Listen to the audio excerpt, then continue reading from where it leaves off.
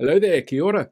You might have heard the other day that our CEO, sorry, Prime Minister, has released their 36 points that the government would like to achieve between now and the end of June.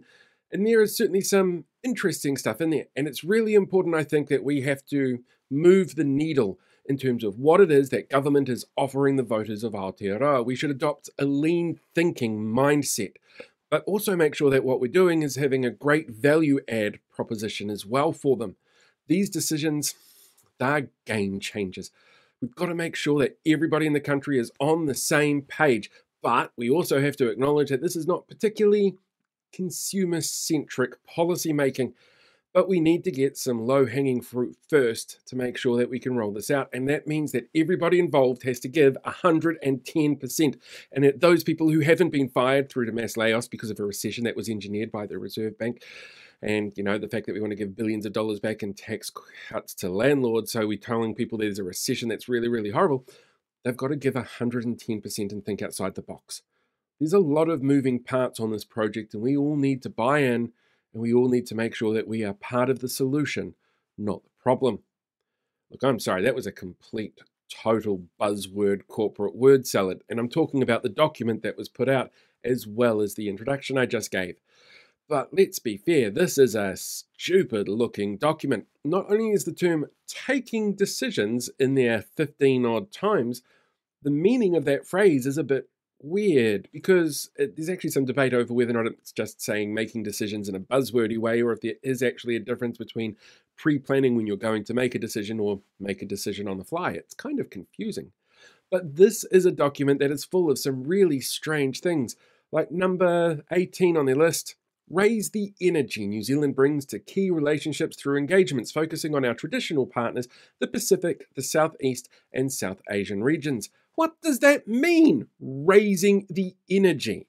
Do they expect to give Winston Peters a bunch of Viagra and say, Here, go to it, your energy levels should be up, you can negotiate like hell? That's not how these things work. And like, I totally get the idea of having things you want to achieve when you're in government or in a corporate area, but Having a 36 point plan that's full of buzzwords doesn't actually tell people that you know what you're doing or what direction you're going in. It simply says, I know how to say buzzwords, and here's where the problem actually lies with that. A lot of research has been done into the use of buzzwords in a corporate arena, and they tend to come back with the same thing. It hides the fact that people who use them don't really know what it is that they're talking about and don't want to sound like an idiot. That's not unusual.